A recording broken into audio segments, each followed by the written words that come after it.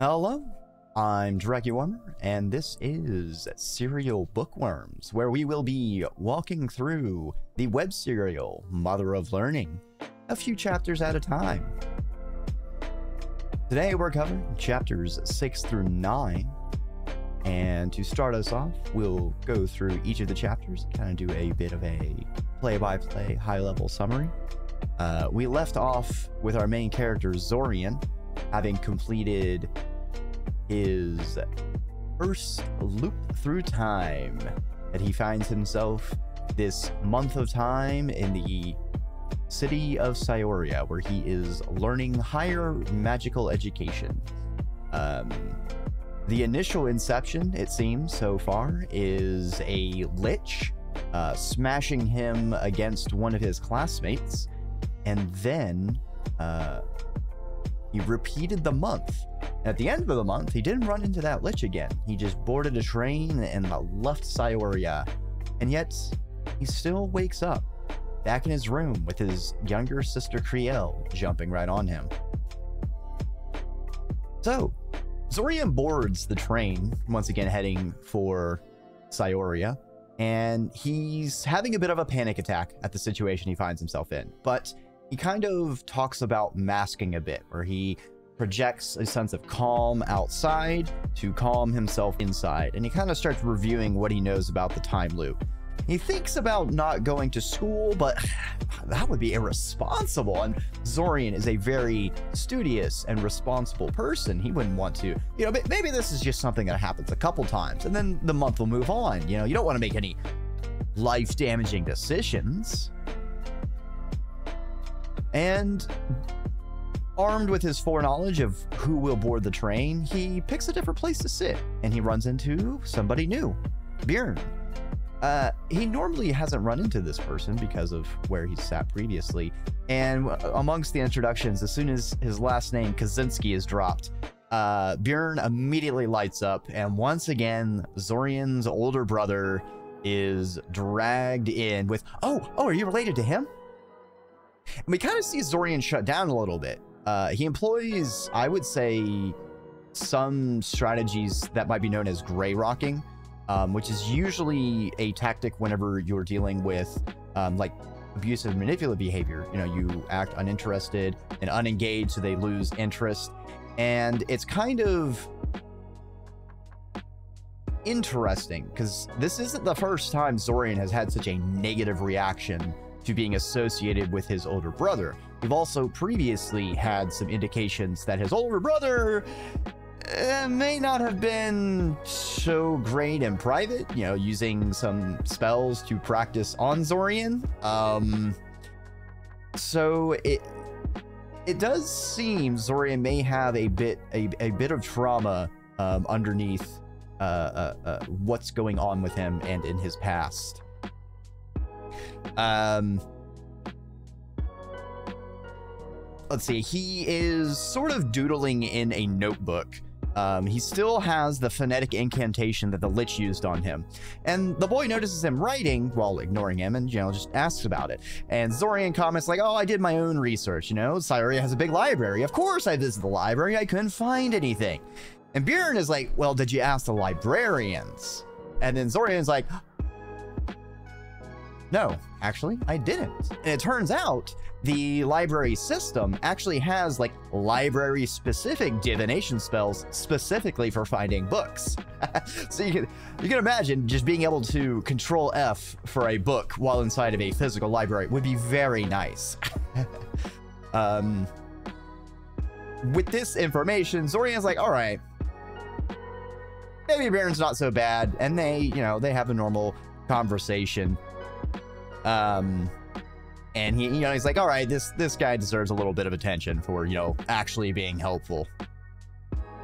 Um, it also, I would say, is kind of interesting that he has this initial negative reaction while talking with Byorn because of his older brother relationship being brought up. So he kind of shuts down. But then when Byorn is kind of helping him out, he flips around. And I think that's also important to note that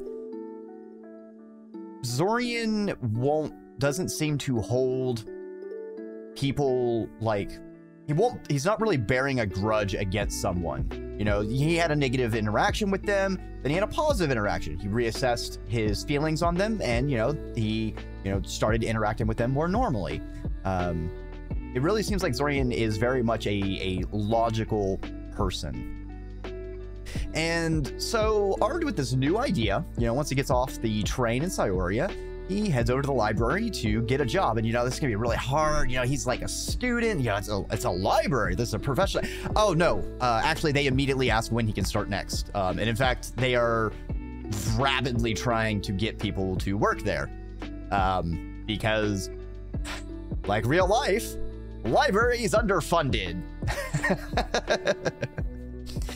um, it's also interesting that the library does have security measures. So there are differentiation between the public library and the secret library with all, or like the secret forbidden texts of forbidden spells. and Zorian is introduced who will be teaching him at the library, and it's Ivory, except he didn't actually meet her this loop because he changed where he sat on the train. Ah. He made Byorn, but didn't meet Ivory. Already we're seeing how just the tiniest changes in these time loops have such rippling effects on Zorian's experience through them. And uh, Zorian is going to have to deal with being compared to his brother again because Ivory starts gushing over. Oh, actually, she's gushing over Fortov, uh, Zorian's charismatic older brother who's still at school with him. Uh, turns out Ivory has a bit of a crush on him. Zorian doesn't know how to feel about this, uh, but uh, he still has a very negative opinion of Fortov. Uh, Zorian is getting a lot of L's this chapter with his assumptions.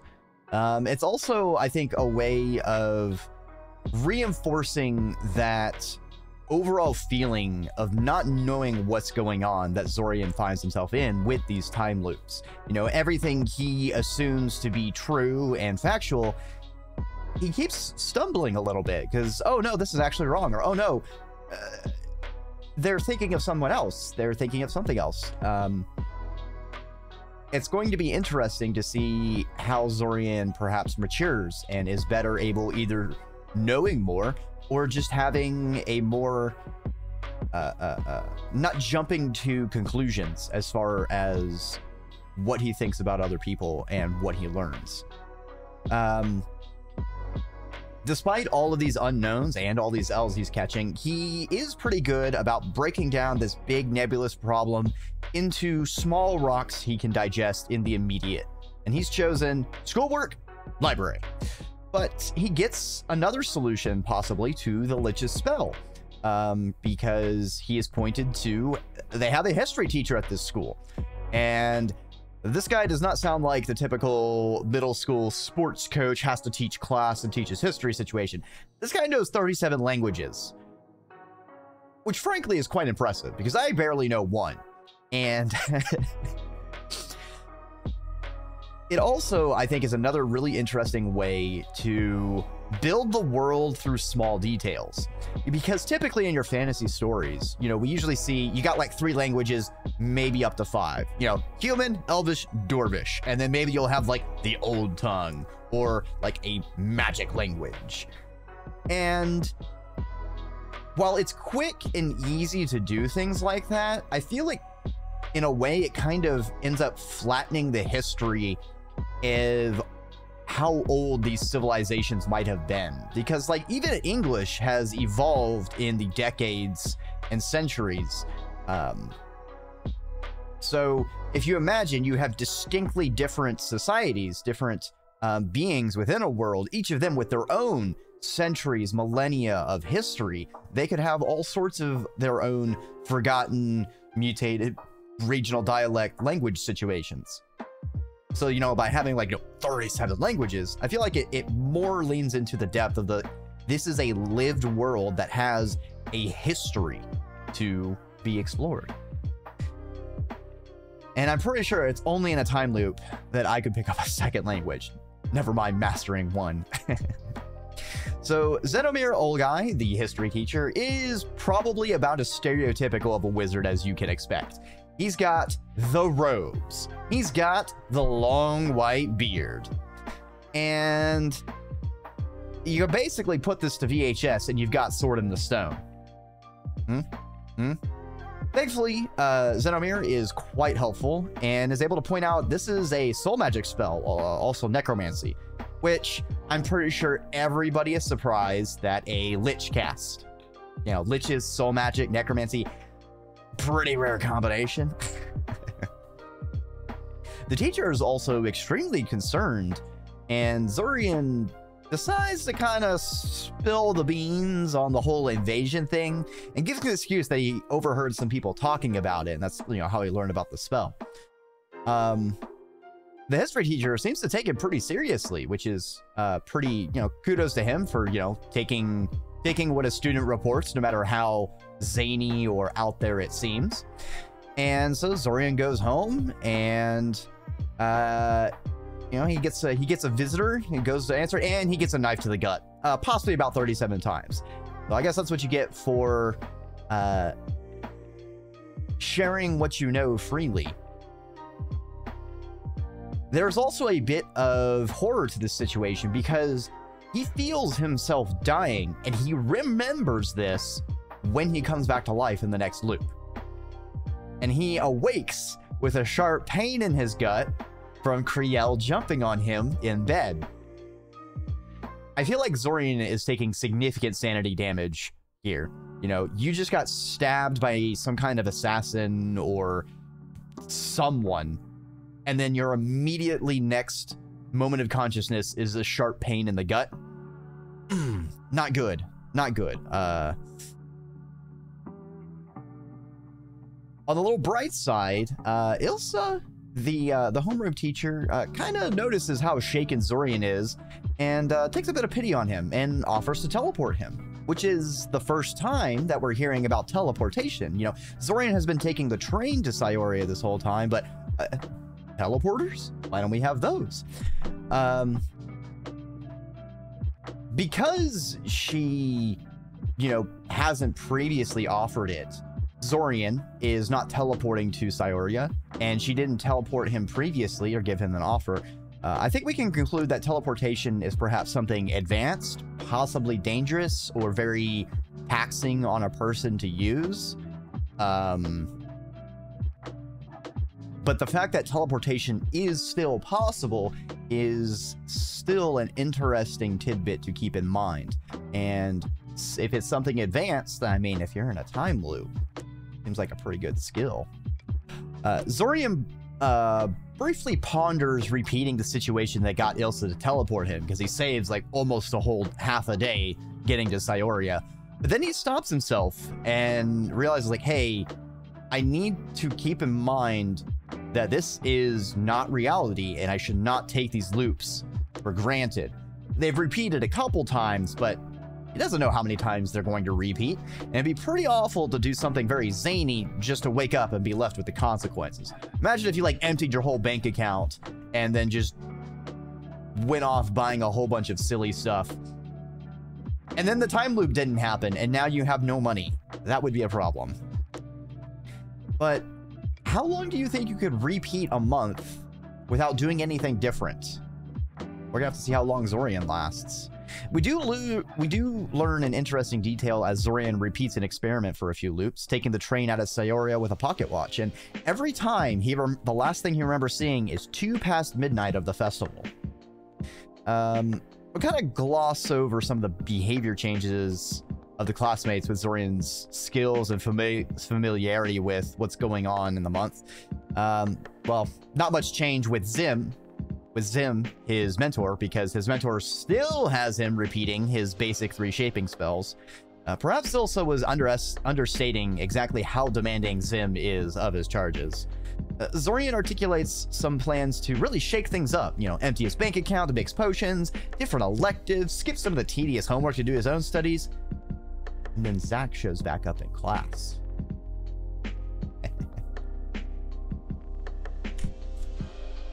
All right, so Digital Vox uh, brings up um, about the old languages.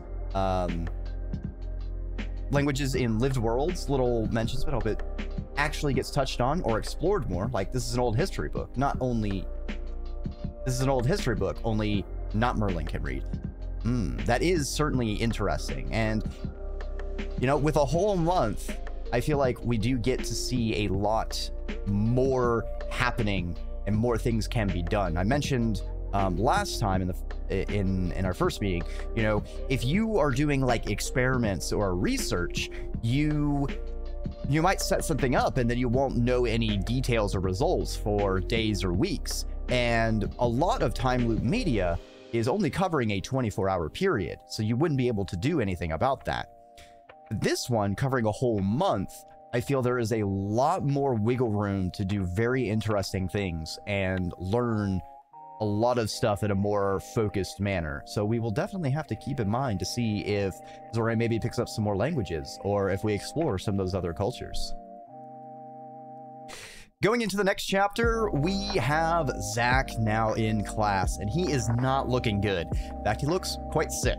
But that isn't enough to get Zorian to immediately talk to him about the time loop. Uh, he seems to be keeping in mind that Zack is vastly superior to him in combat, and might be an adversary. On talking with Zack, it seems Zack's last memory was the fight with the Lich. So has Zack been knocked out of the time? Did Zack get knocked out of the time loop and just now returned? Or was he rendered unconscious or like in a coma and only just now woke up this loop? I feel like either option has some interesting implications of the whole situation. Well, the teacher decides Zack is in no state to come to school and dismisses him.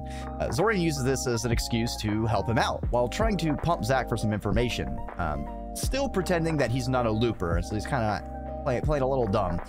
Uh, although he makes a couple almost slip ups that it seems Zack doesn't call him out on. Zack, uh, while while they're talking, Zach uh, mentions that it is the soul which is being sent back in time. And we've seen soul talked about a couple times as a distinct, like it's its own observed and quantified entity in this setting. Um, but we can't really say this is for sure, as we still don't know if Zack initiated the time loop or if this is just what he assumes. Considering his fallibility and losing to the Lich, I feel like we can't take everything he says as fact. Still, with a little prodding from Zorian, we see that Zack gives us quite a bit of information about the loop, with a couple caveats. Uh, Zack claims he's been looping over 200 times, which, um, doing some math, um, about 16 years, putting him at a mental age of about late 20s, early 30s, uh, compared to the other characters. Um, Zack doesn't know how to stop it, and he's actually got kind of a spotty memory ever since he woke up. Hmm. Amnesia is a character trait that I kind of want to put a pin in that. And I think we might, I think I might want to expand on that in the context of a time loop uh, once we get through the rest of these chapters. Zorian decides to continue playing dumb as if he isn't looping, makes excuse about, you know, some of the slight changes because he's helping out Zack compared to how Zack remembers Zorian. Um, Zack seems to buy it, considering he vaguely remembers Zorian being present when the Lich did the soul spell. And Zorian kind of leans into that. He's like, you know what? I did feel a little strange. I picked different electives, and I don't know why. We get confirmation that Liches in this setting are pretty aligned with the stereotype. Uh, they're soul creatures with an object called a phylactery, which they are recalled to once their form is destroyed. Uh, Zorian also suspects that if he's a stowaway in the time loop, then there may be a third looper or even more. You know, if Zorian was roped into this, by sheer happenstance, perhaps others were. He also feels like getting out of the loop shouldn't be his focus. Uh, due to the giant attack that occurs on Cyoria, and the fact that apparently he dies shortly after it starts, it would actually be very dangerous if he exited the loop right now, because uh, he needs to learn more. He needs to know how to survive, he needs to know what's going on, and he needs to put himself in a bit of an advantageous uh, position. And the loop does give him the opportunity to do all of these things improve his skills, improve his knowledge, and improve his circumstances. The very next scene, we have Zorian hanging back in combat class to talk to Kyron. Uh, we learned a couple interesting tidbits of information about how magic and casting works, as Zorian asks about ways to expand his capacity. Uh, we learned that mana reserves grow with proficiency, so the more you cast, the more you can hold. Um, so that kind of seems to imply if you have a higher starting capacity because you can practice more, you kind of you kind of have a snowball effect of like high starting capacity means you have easier time getting to higher amounts. Uh, Kyron proceeds to demonstrate ways that the magic missile spell can be modified and its effectiveness. Uh, this is our first practical demonstration of modifying spells for different effects. We also learn an interesting fact that a perfectly cast magic missile is actually invisible, as it's pure force. The visibility is due to magic leaking. So by this, we also learn that magic isn't something people feel around them, but it's something that can be perceived. Um, we don't really see people talk about seeing like the ambient mana. So perhaps it's something about the way mana goes into spells. Perhaps like mana itself is like a gas, but when it's funneled into a spell, it's compressed such that it becomes observable. Those mana reserves be preserved in the time loops? That is also something to keep in mind. If you can carry knowledge of things you learn, if your soul's being sent back, is improved capacity of magic something mental, something soul-based? Is it something physiological, like, you know, you're improving your muscles, which if your body is being reconstituted every loop, any muscle gains are going to be lost. So is muscle is mana capacity something like a physical sort of thing, or is it more ethereal? Good thing to keep an eye on. Zorian, after after talking with Kyron and getting a couple spells to practice, uh, a couple variants on Magic Missile, um, Zorian is back in the library, having decided to work there again this loop. Uh, talking with Ivory, we get a few new details about kind of the general political situation of this world. Um, we're kind of getting a little bit of a drip fed, but I think it's, I kind of think it's really nice how the story seems to kind of organically inform the reader about this world rather than, all right, it's history class, and now the main character is just going to be a TV screen for the readers to learn about all of the history, which this character probably already knows, or it's just just a very dry way of presenting it, you know, by just these coincidences, uh, being able to inform us about this world, like how we might just bumble about and learn new history ourselves by just bumping into someone who just is passionate and knowledgeable about a section. Um, so Ivory talks about how the old alliance, uh, which was the previous nation, uh, kind of broke apart due to the Splinter Wars.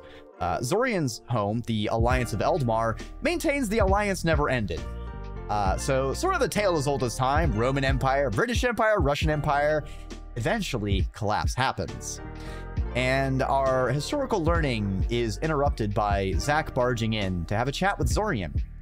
I learned that Zorian is trying to learn combat magic, offers to give him some quality lessons. Turns out, Zack has a uh, family estate within Cyoria, though it's in disuse. Uh, it appears Zorian isn't the only person with some family issues, as it's in poor state and Zack is the heir to his family. We learn about reflexive magic, which is kind of similar to muscle memory. Like, when you cast a spell often enough, it becomes reflexive.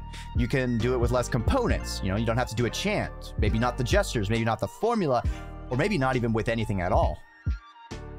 There's some talk about uh, or actually relating to the ref reflexive spells, uh, Zack says he has like only a couple spells down to a reflexive nature. You know, your magic missile, your shield, flamethrower, you know, a lot of the stuff we might think of as like something very easy and very staple spells.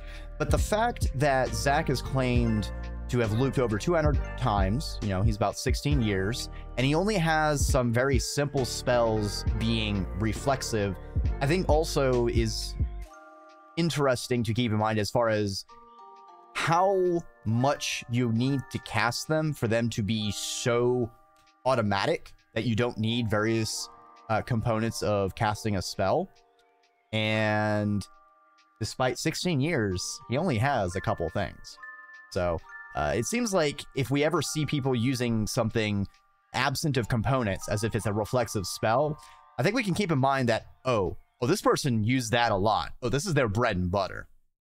Wonder if those reflexive spells are something physically ingrained or if it's a mental exercise. Hmm.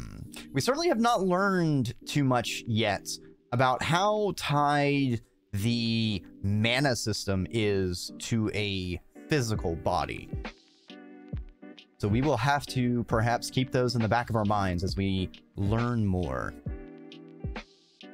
There's also uh, more talk about um, people's mana capacity. So Zorian and Zack sort of relate it to the number of magic missiles they can cast before running out. Zorian is a little bit below average and can cast 10 magic missiles. Zack can cast 232.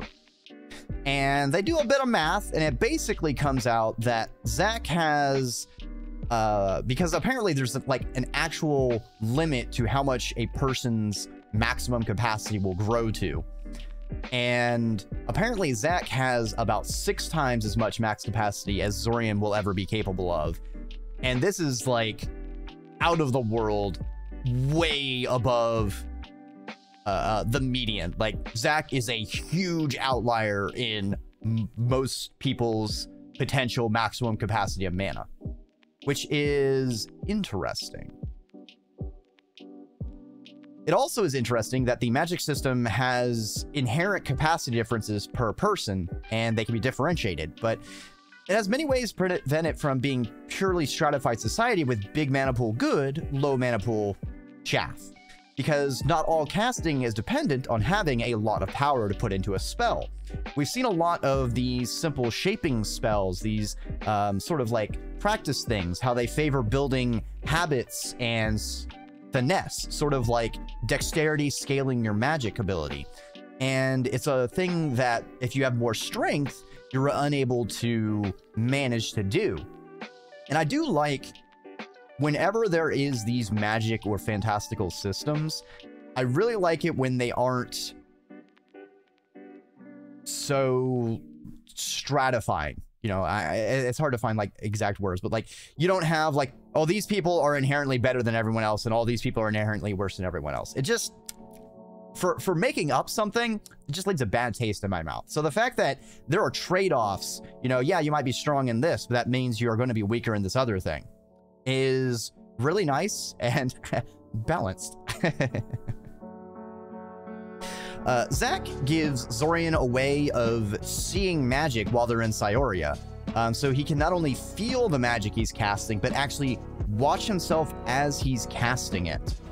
Um, apparently, because Cyoria is such a glut of mana because of the giant hole that's spewing it out, it's usually impossible to like view the ambient mana because it would just be like a static kaleidoscope overwhelming you but uh, a experimental spell that Zach learned uh, is kind of filtering out a lot of that noise. At the end of the lesson, Zorian walks home, taking away something very different from Zack's efforts of uh, magic missile tech. He will never be able to face Zack or anyone like him head on. He needs to walk his own path. Next, we find our characters. They're back in class. Zack talks about some of what he goes through in the time loops. Uh, Cyoria is actually a rare visit from him. Usually it's just a break or when he's feeling nostalgic. But in the past, he's gone out of his way to learn about all of his classmates and doesn't consider it a waste of time despite the time loop and them forgetting all of the talks with him. And this makes Zorian realize he's never tried to do anything like that in his loop so far. Uh, at least you know, he, he doesn't really, he hasn't really tried to learn, uh, even from his best friend Benisek, he more of just is annoyed by him and avoids him. Um, and it certainly gives us another contrast between our two characters. Zack is more outgoing, you know, more empathic. Um, doesn't really treat you know the time loop as a problem it seems like he just seems seems to see it as an opportunity uh, Zorian is a much more logical. He's focused immediately on these problems in front of him, and he's trying to, you know, improve himself and figure anything out he can about these problems. And while Zorian never did any of the any of the uh, talking with his classmates. He did think of going to the library uh, more often, whereas Zach stepped in it once and then never visited again. So, really hammering home that Zach is uh, more of a doer than a thinker. he, Zorian kind of begins to think Zach isn't really a stowaway. There's kind of too much going on that would be very beneficial to put Zach in a time loop for. You know, the large mana reserves that would take a while to build up to. He's the last member of a very famous noble house. He's very charismatic. Very convenient to have a huge amount of time for Zach to polish his skills and mature in a way that no one would know or be able to, you know, perhaps be aware of. Uh, Zorian, however, resolves to stay unknown and avoid whoever it is behind Zach, at least for now. Later, Zorian meets with Ilsa to get some mentorship, as Xvim is still having him refine his basic three shaping spells. Uh, we learn there are actually thousands of variations of shaping spells, and she gives Zorian a book detailing 15 to work through. And this gets Zorian's mind thinking. He asks if he could demonstrate mastery of all of them within the in the book within a month. And if he could transfer mentorships off of Xvim to her. She says she'd fill the transfer out right now, but is skept skeptical that he could do it. Zorian smiles. We learn some more world building about the specifics of shaping spells and how the variation, how they are variations rather than spells outright themselves, but how they're ways to learn and practice foundational skills that are used in casting many spells. For example, the spinning spell while levitating a pen is a way to practice multitasking because you're having to focus on pushing the pen away from your hand, but you have to use a second force to get it to rotate.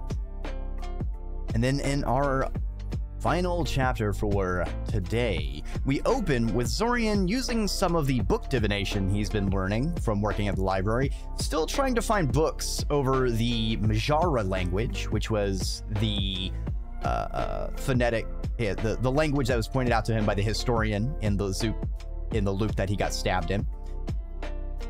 And he wants to better understand the exact specifics of the necromantic spell that was used on him.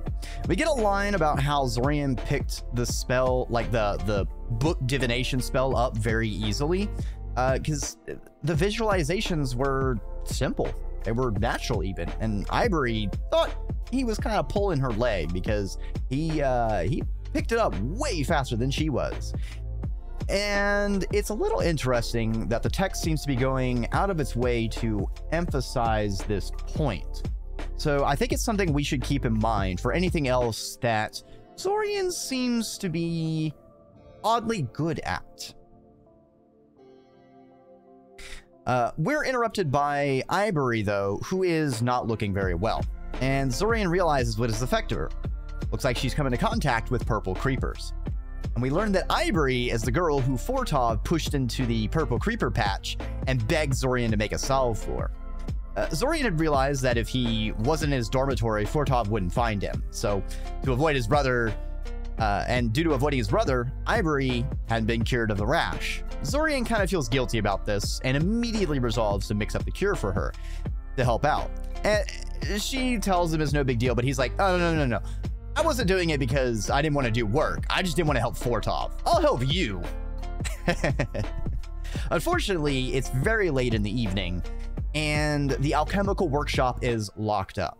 Ivory wants to see how the cure is made, and Zorian feels a little awkward as he'll be resorting to a bit of an unorthodox way of gaining access. This becomes even more awkward because Zach was waiting for Zorian at his home as well. The whole crew rolls up to the locked door, and Zach is surprised that Zorian seems to admit to know unlocking spells, which are considered restricted magic. Except, no. It's even simpler than that. Zorian is simply a lockpicker.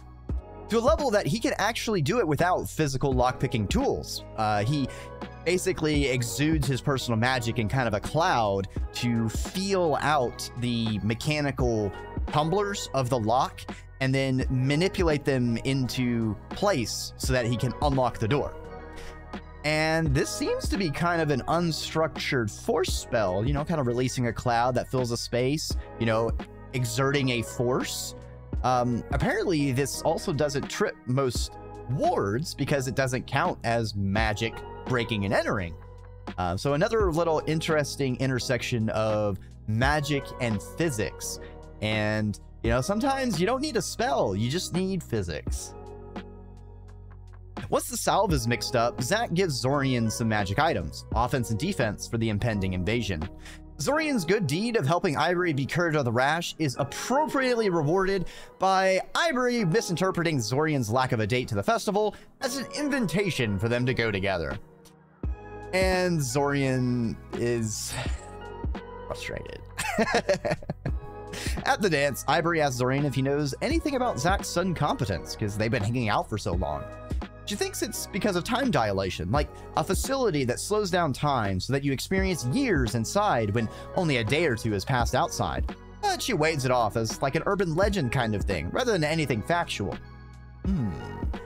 Interesting idea, Ivory. Perhaps we should ponder that as well. Eventually, the attack happens, but it's Raynie who raises the alarm, not Zach as winter wolves show up minutes later. Briam, the uh, person who has the Fire Drake familiar, talks about how he's able to summon his familiar to him because the bond is connected through the soul. So it seems like souls provide a closer connection like a, in a different plane than like your physical presence. So that's an interesting aspect of souls. Everyone eventually makes their way to the shelter, and Zorian kind of gets bad vibes from one of the students near him. And those vibes are immediately vindicated as that student pulls out a vial and smashes it, releasing sickly looking smoke. Uh, Zach wasn't able to hold their breath fast enough, complains that Zorian is still standing, only for the loop to come to an abrupt end as a giant toothy maw descends upon Zorian from a giant brown worm. That's worm with an O, thank you very much. Okay, not related to me at all. Uh, explodes out of the ground nearby him. And that is where we end our chapters for now. Um, some some some little questions I think are worth uh, pondering on, perhaps, before continuing uh, further reading. Uh, do you think uh, the line about visualization being a natural breadcrumb to a special skill that Zorian has, or it's a red herring? You know, the the library divination spell visualizations being so easy for him to process. You know, it just it's just information. I can easily see it. Um, if you think it's a skill, do you have any speculations as to what it what Zorian might be good at, you know, if he has some special ability? Or if you think it's not some kind of skill, do you have any ideas where the text might be misdirecting us over?